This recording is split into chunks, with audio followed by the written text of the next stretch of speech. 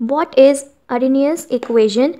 Effect of temperature on the rate of reaction and on the rate constant quantitatively effect of temperature यानी कि तापमान का प्रभाव on the rate of reaction यानी अभिक्रिया की दर पर और रेट कांस्टेंट यानी कि क्रिया गति स्थिरांक क्वांटिटेटिवली यानी मात्रात्मक रूप से समान होती है तापमान का प्रभाव अब क्रिया की दर पर और क्रिया गति स्थिरांक मात्रात्मक रूप से समान होती है तो इसकी वैल्यूज़ हैं K is the rate constant A is pre exponential factor E A is the activation energy R is gas constant E is the base of natural logarithm. So we call this E is the base of natural logarithm. T is the temperature. K is equal to a e की power minus ea by rt this is the arrhenius equation. Effect of temperature on the rate of reaction and on the rate constant quantitatively